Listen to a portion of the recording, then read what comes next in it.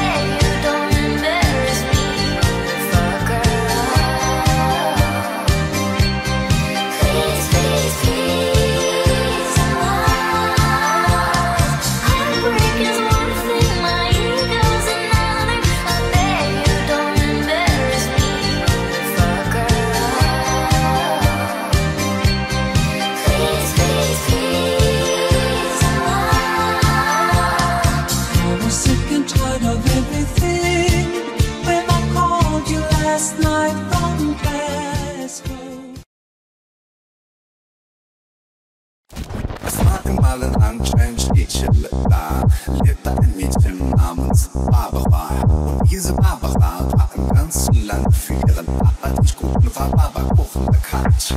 Ja, man könnte sagen, dass Barbaras Rhabarberkuchen ohne Wenn und Aber gar eine geradezu magische Erfahrung war. Aber der Kadaverla, der dieser Kuchen war geradezu bombastisch. Und die Nachfolge danach erstarkte